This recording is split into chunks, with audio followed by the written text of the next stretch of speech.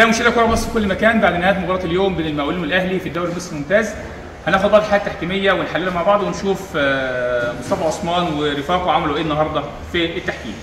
الحالة الأولى في الدقيقة 17 هدف الأهلي الأول آه، هدف صحيح مفيش فيه تسلل ومراجعة صحيحة من حكم الفار والهدف صحيح. في الدقيقة 22 تسلل صحيح على المقاولين العرب وتميز بالمساعد.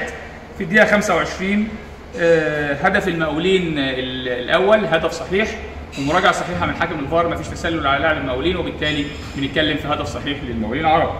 في الدقيقة 34 في آه، إلغاء آه، هدف الأهلي آه، للتسلل، التسلل موجود وقرار الحكم المساعد قرار صحيح الراية اترفعت ولكن عمل الحكم عمل ديلي للراية المساعد المساعد رفع الراية لكن الحكم عمل ديلي للصفارة وقرار الحكم صحيح وقرار المساعد صحيح ومراجعة حكم الفار مراجعة صحيحة وإلغاء الهدف إلغاء صحيح.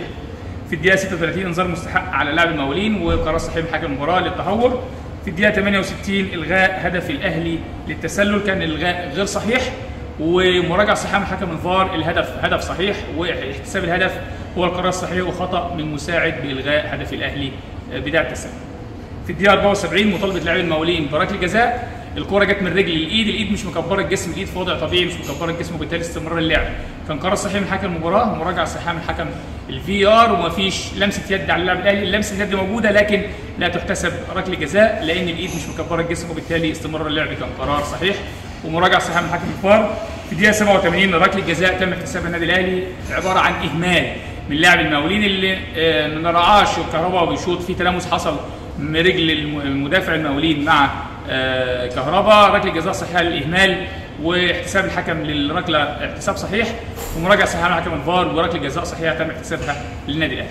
عايز أقول النهارده أداء تحكيمي محترم جدا من طاقم تحكيم مصطفى عثمان ورفاقه اللي خد فرصة النهارده يلعب ماتش المقاولين والاهلي بعد حسم البطولة نتمنى دوما التوفيق للتحكيم المصري. دي كل حاجة عندنا النهارده في التحكيم شكرا لكم سلام عليكم.